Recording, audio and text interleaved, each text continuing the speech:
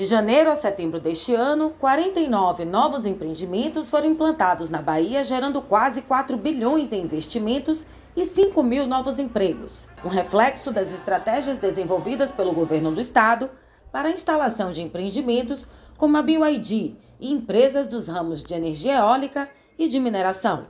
Quando uma, uma BYD, que é a maior, maior fabricante de carro do mundo, escolhe a Bahia para sair do seu território pela primeira vez, ela vem com 5 mil empregos diretos.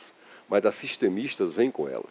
Né? E essas, nessas sistemistas nós podemos atingir até 50 mil empregos, diretos e indiretos. O complexo eólico de Tucano é outro importante gerador de emprego e renda para o interior da Bahia. Com mão de obra composta exclusivamente por mulheres, o empreendimento destaca a Bahia na produção de energia limpa. Todas as experiências que a gente veio adquirindo ao longo desse um ano contribuiu muito para o nosso crescimento, nossa confiança enquanto profissionais.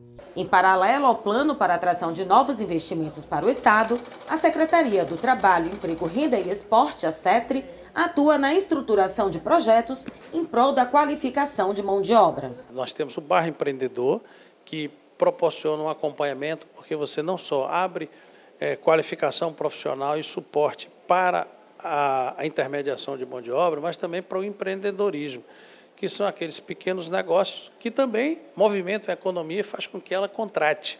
A qualificação amplia as possibilidades e garante novas fontes de renda. Eu já vou aprender a costurar, a gente vai, vai ganhar a máquina que você também um, uma aposta muito legal. E eu vou poder fazer as coisas que eu precisar ia precisar pagar para parceiros, né? Então para mim vai ser muito bom.